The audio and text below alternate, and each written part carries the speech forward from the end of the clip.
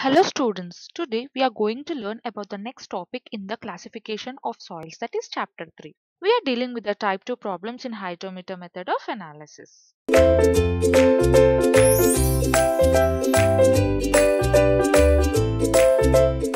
This method is very simple.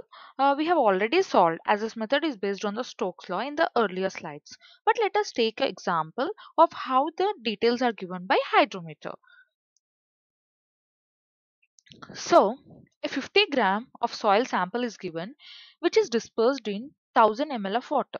How long after the start of sedimentation should the hydrometer reading be taken in order to estimate the percentage of particles which are less than 0.003 mm effective diameter if the center of the hydrometer is 150 mm below the water soil suspension.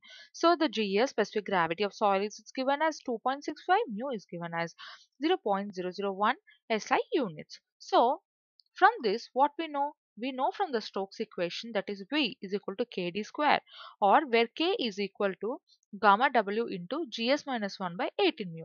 So we have to carefully put the values which are given in the problem. We know that gamma W of water is taken as 1000, 2.65 minus 1 by 18. What is the mu value? 0.001.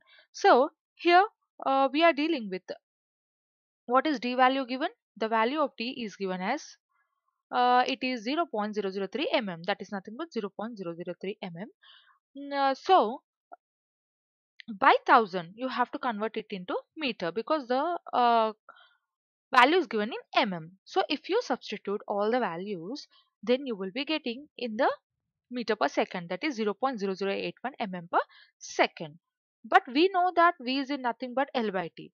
Again we have to calculate the t value. So here T is equal to L by V. So what is L given in the problem? That is 150 mm from the center. So 150 by what is V given?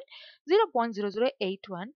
Here we want in hours. So 1 hour is equal to, here the above value is in seconds. So we have to convert it into seconds. 1 hour is equal to 60 minutes. Again 1 minute is equal to 60 seconds. So 60 into 60 that is nothing but 1.15 hour. This is a very simple problem. Thank you.